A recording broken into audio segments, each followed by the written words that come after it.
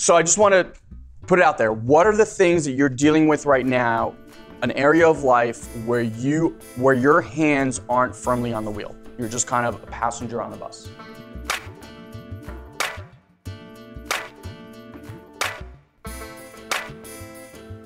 last year I was actually active duty military, but the last three to four months was probably one of the most difficult challenges in my life. Um, guys, I'm, I'm not gonna lie, I was struggling with a lot of internal demons. I was caught in cycles of just negative thoughts where I didn't think I was worthy of being able to achieve things that I really wanted to achieve.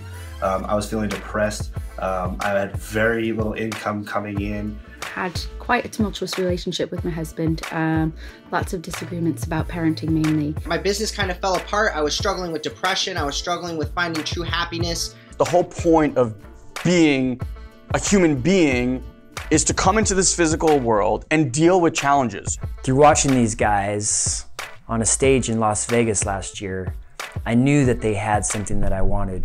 There was something about them, the way that they taught their methodologies, that created abundance in their lives, and I could see it. There must be more to life than this. How many of you guys have ever said that to yourselves? There must be more to life than this. There is, by the way. I started with them with just the idea that I wanted to have a gym in three months. Completely and utterly changed my life.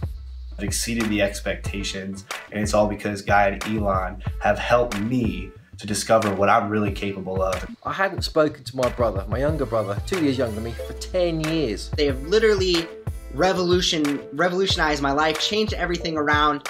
I went on to my brother and I spoke to him, took responsibility. We now have an amazing relationship. Yeah, we are brothers. My three-year-old uh, noticed how happy everyone was, and we were sitting at dinner one night, and he just basically said, everyone's happy now. And I just thought that was so lovely to hear. You would not even recognize me from the person I once was. Inspiration, like we spoke about before, is an action. The only way that you will change your life is through action. That's it. Since working with them, I've been able to create new patterns and behaviors, new beliefs about who I am and what I'm capable of. And I'm really starting to attract all the things um, that I wanted uh, for my life. My finances are in track.